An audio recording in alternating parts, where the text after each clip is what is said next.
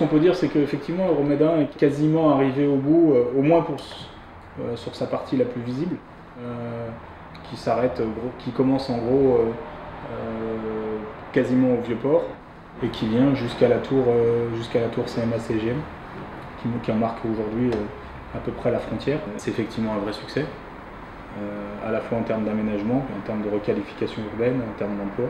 L'idée, c'est de réappliquer ces ces, réussites, on va dire, euh, sur la phase 1, de les, remettre, euh, de les remettre sur la deuxième phase.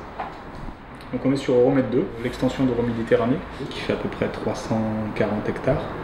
C'est essentiellement euh, des friches industrielles, avec une petite zone de population autour d'un quartier qui s'appelle les Crottes, qui comprend à peu près 300 habitants.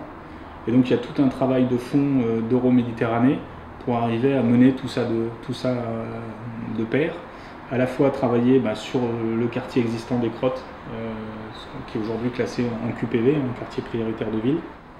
Euh, travailler sur euh, la ZAC littorale qui va comprendre les grandes friches industrielles, dont, nous d'ailleurs, dont on est, on est un peu avant-gardiste, puisque nous on a, commencé à travailler avant que cette ZAC soit, créée. Les services RD de, phosphore ont imaginé la construction d'un bâtiment et d'une gare multimodale, puis ensuite d'un quartier sur Marseille, euh, à peu près exactement l'endroit où nous sommes.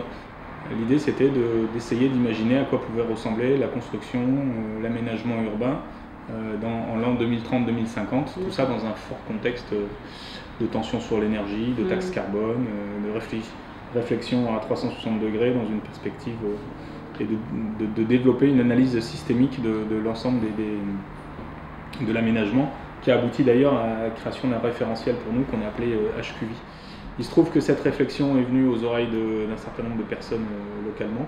De la ville euh, au Méditerranée nous ont demandé de leur faire une présentation.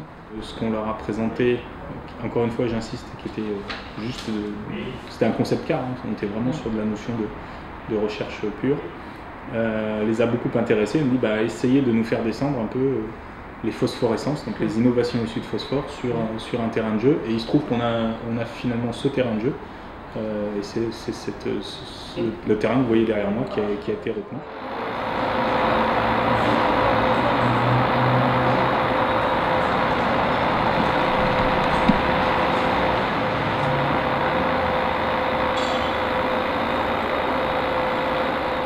Au global, c'est une opération qui fait 58 000 m2 dans lequel vous allez retrouver 27 000 m2 de bureaux. Vous allez retrouver 400 euh, logements, dont 100 en accession. Une résidence personnes âgées d'une centaine de places. Euh, puis après, une crèche. Et puis environ 3000 m2 de, de commerce et services, notamment en pied d'immeuble.